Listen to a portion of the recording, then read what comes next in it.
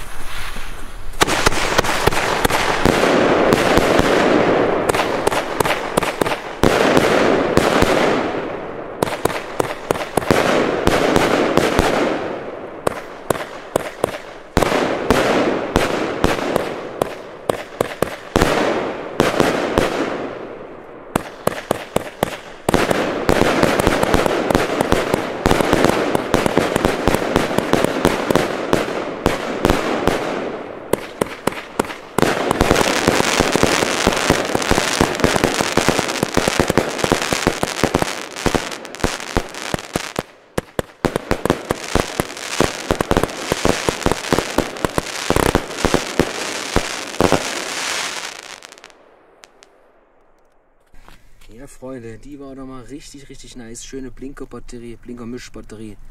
Richtig, richtig toll.